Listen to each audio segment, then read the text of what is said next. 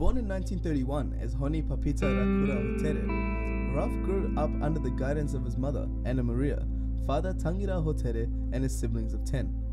He spent his early years in Taikarawa with his family before moving to Auckland for studies. He studied there for five years before making the move to the Dunedin Teachers College in 1952. This is where he saw his true potential in art at the Dunedin School of Creative Arts. Beautiful.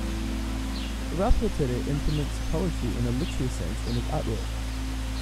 Use of poetic motifs and references seems to be the familiar characteristic when you look at his artwork. For example, take this beautiful scenery, you can seek inspiration from it and then make something that looks absolutely stunning. There are many famous artworks of Ralph Hotere that we can look upon.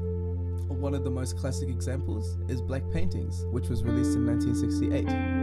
However, we would like to now discuss one of the most famous projects of them all the collaboration with Bill Culbert and Ralph Hotere, Black Light. Black Light is a collaborative project between Ralph Hotere and Bill Culbert, also in conjunction with Dunedin Public Art Gallery